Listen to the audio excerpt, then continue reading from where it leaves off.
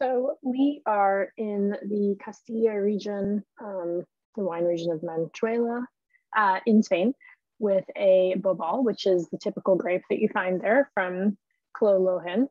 Um, and this wine is, oh, it's interesting. Yeah, I was just reading about him, um, I guess when I was picking this wine. And uh, he was 23 when he started in 20, 2005. So it was his 15th anniversary when he made this one because it's a 2020 vintage. And um, I love Bobal as a grape. I think that it is typically quite rustic. Um, and I, well, never mind. Let's talk. I'll, I'll talk about that in a minute. I love the way he makes this wine though. Um, but oh, I guess the one thing I can't say is that it definitely has the rustic feel with the label, which I think is very underrated because in the natural wine world, we get very um, into picking wines by labels. I still do it, everyone does it. But sometimes it's nice to just know that, you know, they're doing things the traditional way, but more like the traditional way before they started using pesticides and stuff versus the traditional way of, you know, post World War II, basically. All right, after our history lesson, um, let's dive into it. So this is a very dark wine, which is pretty typical of Bobal. Um, I know that it was made in like large oak barrels, so it's not going to like impart any flavor on it, but it will breathe some. Like that will like it's going to breathe more than if it was in concrete or if it was in stainless steel. Um, so that's something good to note. And um, yeah, no fining, no filtering, etc. 13%, so or no, sorry, 13%, so not super um, high, also not low. And yeah, let's let's it. Oh man, I just love Bobal. It smells so good. So it smells like silky and smooth. Like um actually, how does something smell silky? That's actually probably something good to unpack. I guess because it's like it's a little bit floral, but it's also mainly even maybe it's because it's like the leather, it's got a little bit of leather, a little bit of smoke, a lot of fruit. But what makes it smell silky? I don't know. I think maybe just because my assumption of what those flavors will feel like on the palate. If you know, let me know in the comments. Um, all right, so that's the top. On the bottom, lots of dark fruit. Honestly, though, I'm even getting like a little bit of like strawberry. I don't think he did anything like carbonic on here, or maybe he did. It doesn't say exactly doesn't say exactly. So I don't know, but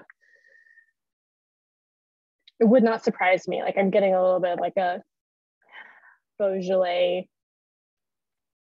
bubblegum vibes, but I might be making that up. But yeah, so dark fruit with blackberries, you know, plums. It's honestly, it's just got the whole thing. It's got the dark cherries, light cherries, strawberries, raspberries. There's a lot here. um, so let's try it.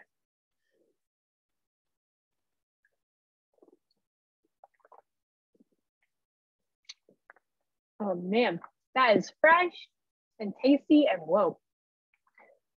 Both very tannic, very tannic, and very acidic. Um, so great, perfectly balanced, but like this thing needs some food. I'm gonna need some crackers before I do my next wine. Um, wow, that was tasty. So yeah, that's the structure. It's very, it's definitely medium bodied. It's not like, it's funny because it's super high um, well, it's high tannin, high acid, but it is light. Uh, kind of like the northern Italian grapes that I've been describing in some of the other videos. Um, but still somehow manages to be like kind of glou glou. It can't be completely glou glou because like it stops you in your tracks and you're like, whoa, there's a lot going on here, but it's just light, so it's tasty. All right, so let's talk a little bit more about the flavors.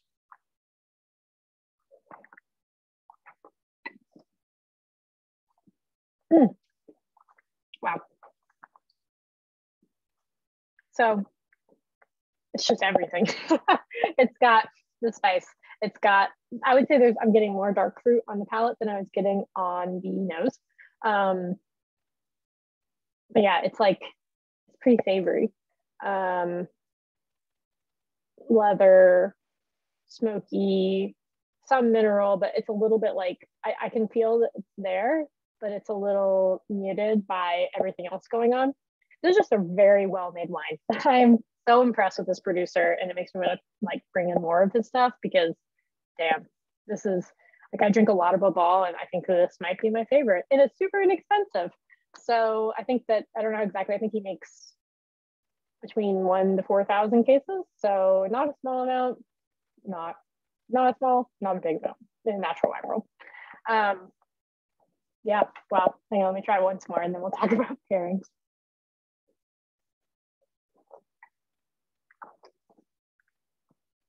Mm. What do I want to put with this? I want to put smoked meats, I think. Like I want to put brisket or yeah, like barbecued stuff with it. Or like um yeah, like barbecued chicken where you put like the barbecue sauce on it. Man, that would be really tasty. I think because it's got a nice smokiness to it. I just want to put it with something that's going to be smoky as well. Um, game could be good too if you're hitting up the wild boar and trying to get rid of them in many of the towns out there. Great.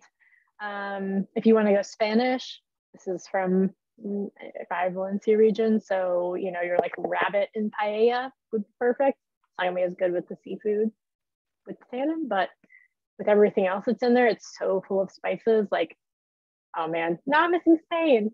How nice. Such a good one. Um, yeah, that should give you a ton of options. So I hope you enjoy it. And I think we have a decent amount of it. So you should be able to buy more because like this this is the wine that I want to bring to like a dinner party. Again, this is all I didn't talk about this. It's definitely a stealth natural wine. You never know it's a natural wine. Um, and it's a grape that's not uncommon, but also not that well known.